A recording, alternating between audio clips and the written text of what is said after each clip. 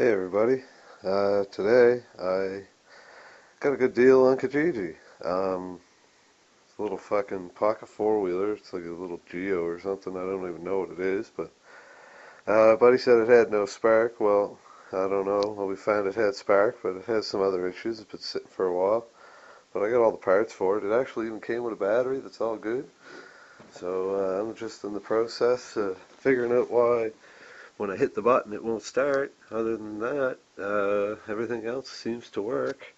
There was Bix gas in it. Buddy obviously didn't know what he was doing. It's a little 50 clone.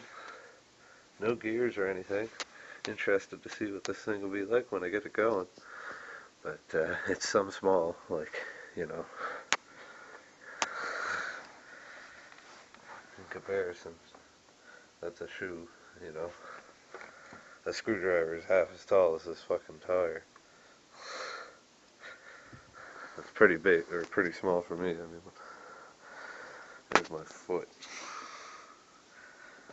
I'm a little big for it, but hey, it should be fun. It'll fit in my car.